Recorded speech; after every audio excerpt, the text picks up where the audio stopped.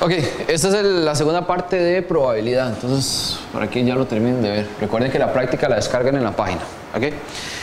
Dice, considera la siguiente, la siguiente información para responder los ítems 29 y 30, ¿eh? ¿verdad? 29 y 30. En un periódico nacional se publicó un artículo en el que destaca que el teléfono celular es el dispositivo que más utilizan los adolescentes. Dicho artículo se basó en una encuesta realizada a una muestra aleatoria de 628 estudiantes de secundaria menores de 15 años. Parte de esa información se resume en el siguiente cuadro. En el área metropolitana son 476 estudiantes en total. De ellos 470 tienen celular y 6 no tienen celular. En zona rural son 152. En total 140 tienen celular y 12 no tienen celular. Para un gran total de 610 que tienen celular, 18 que no tienen celular y un total de 628 estudiantes. ¿Bien hasta ahí? Entonces, Dice, la pregunta 29, ¿cuál es aproximadamente la probabilidad de que al escoger al azar un joven de la muestra, ojo que no me diferencian entre área metropolitana y zona rural, simplemente me dicen un joven de la muestra. Eso me incluye zona metropolitana y área rural. Entonces, ¿cuántos jóvenes tienen celular? 628. No. 628 son el total del estudio. Tiene, o sea, entonces más 470 más 140. Ya está, total 610. 610. Entonces, hay 610 sin discriminar o sin, o sin escoger entre zona metropolitana o zona rural. Hay 610 que tienen celular. ¿De cuántos? De 600 de 620. Entonces, ¿cuál sería la probabilidad? De 610 sobre 628. Exactamente.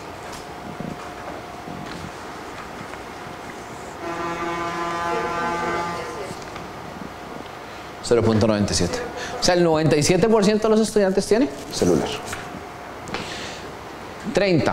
Si se toma como población total los encuestados del área metropolitana, ojo, solo área metropolitana, ¿verdad? Ahí sí serían 470. y se decide seleccionar al azar un estudiante de esa población, entonces, ¿cuál es aproximadamente la probabilidad de que ese estudiante posea celular? ¿Cuántos del área metropolitana poseen celular? 470. ¿De cuántos? De 400 de 406. De 476. Porque ya no es de todo el estudio, ahora es solamente del área metropolitana. Entonces serían 470 de 476. 0.98. Sería la D. Sería la D, lo más aproximado. 0.98 qué? Eh, 73. Ese 7 me redondea al 8, a 9. Entonces sería 0.99. ¿De acuerdo? Ok. Ahora sí. Ejercicio 32, 33, 34.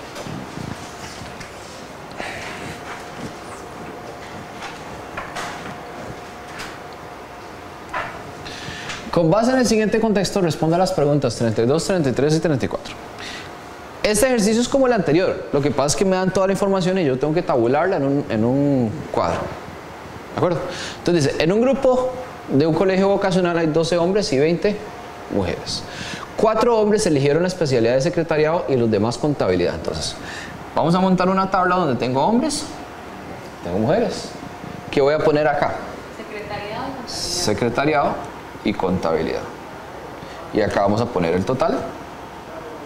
Y acá en esta columna también va a ir total. Porque son dos totales diferentes. Entonces, hombres en total son 12. De esos 12, ¿cuántos escogieron secretariado?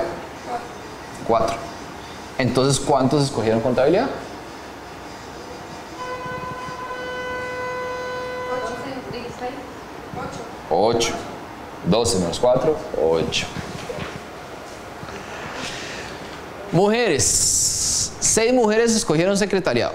Y son en total 20 mujeres. 6 mujeres escogieron secretariado.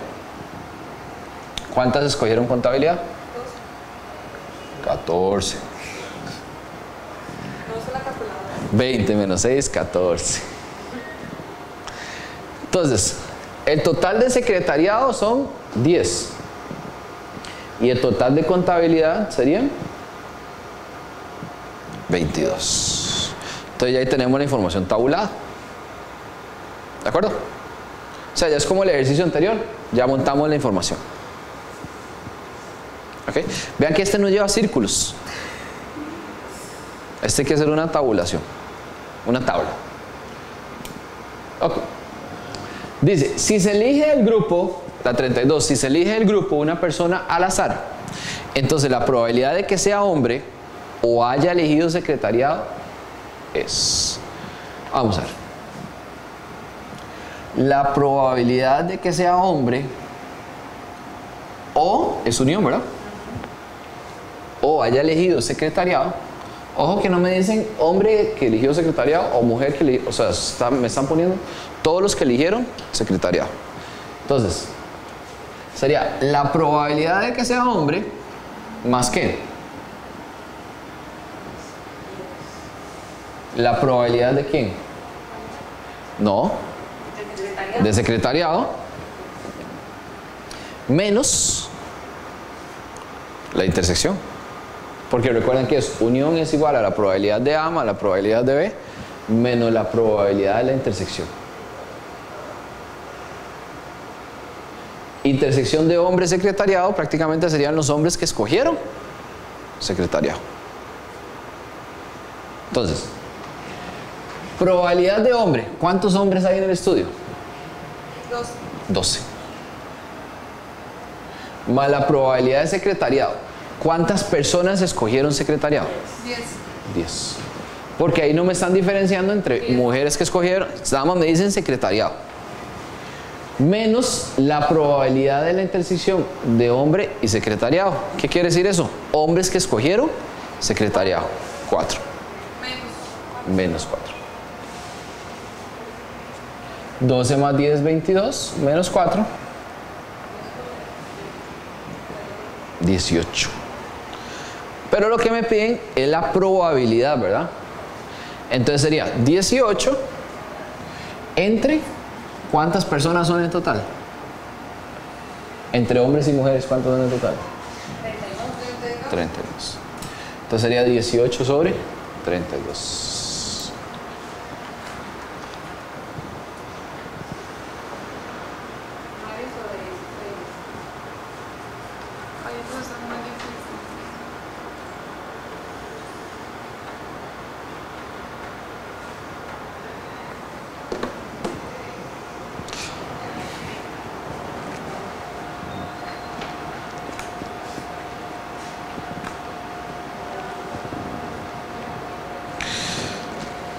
Treinta y tres,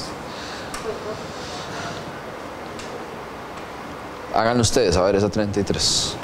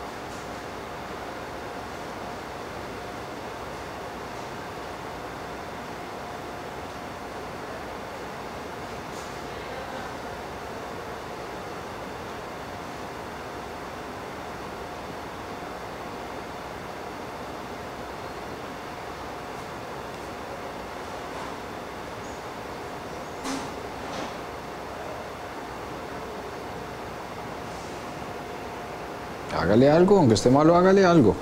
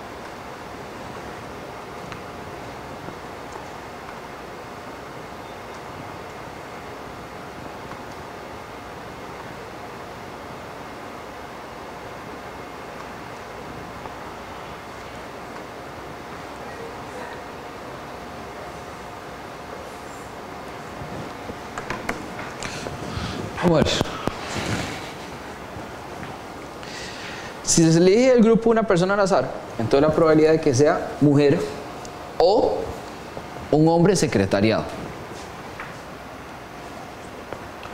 Probabilidad de que sea mujer, ¿sí? O un hombre secretariado. Entonces, mujeres, ¿cuántas mujeres hay? 20. Más. Hombre secretariado. 4.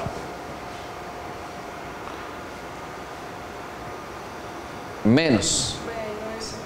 ¿Hay intersección?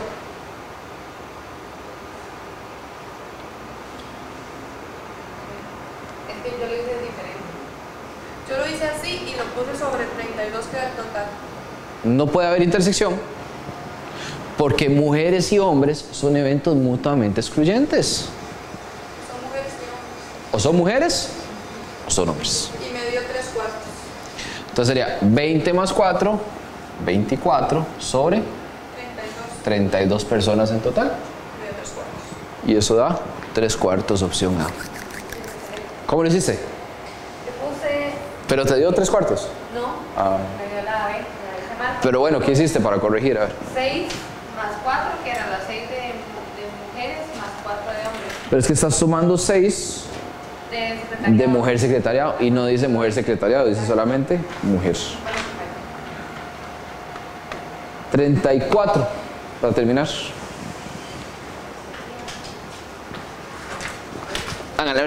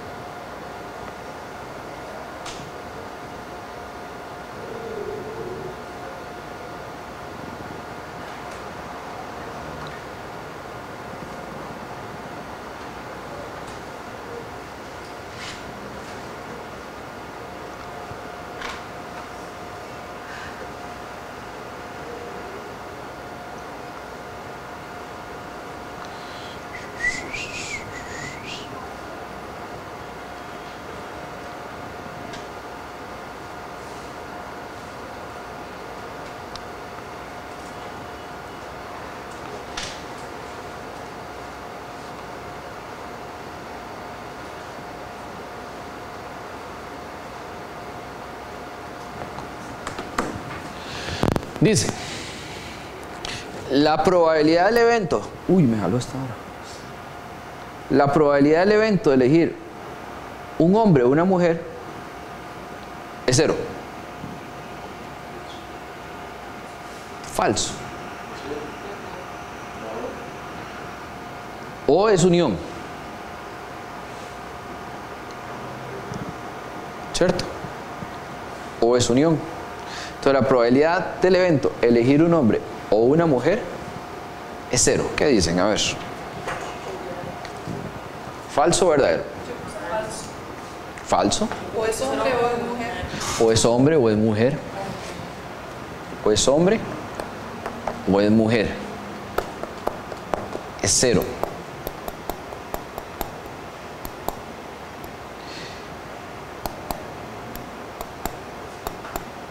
O es verdadera. Es que, La- unión, ok, es que es que es unión. entonces sería unión de hombre con Eh. unión de mujer. Es falsa. Vamos a ver. Al ser unión, hombre, unión, mujer, ¿verdad? Ahí sería la probabilidad de hombre mala probabilidad. de- más la probabilidad de la mujer. O sea, serían los hombres más las mujeres. Eso no me da cero. Pero es que si sumamos la probabilidad, digamos, el hombre son este 12, Son 12 hombres, son este 20, da 32. da 32. Entre 32 da 1. Ajá, da 1. Entonces no es cero, entonces es falso. Ahora, si me dijeran, la probabilidad, la probabilidad de elegir un hombre y una mujer, intersección, eso es cero, porque son mutuamente excluyentes. ¿De acuerdo? Entonces ahí sería cero. Pensando en cómo la hago verdadera, cómo la hago falsa. Para que sea cero, o sea, para que sea verdadera, tendría que ser hombre y mujer. Pero así como está entonces, es falso. La probabilidad del evento de elegir una mujer de secretariado o de contabilidad es uno. ¿Y los hombres dónde quedaron? Para que sea uno, tiene que ser un 100% de probabilidad. Para que eso sea verdadero, el estudio tendría que ser solo de mujeres.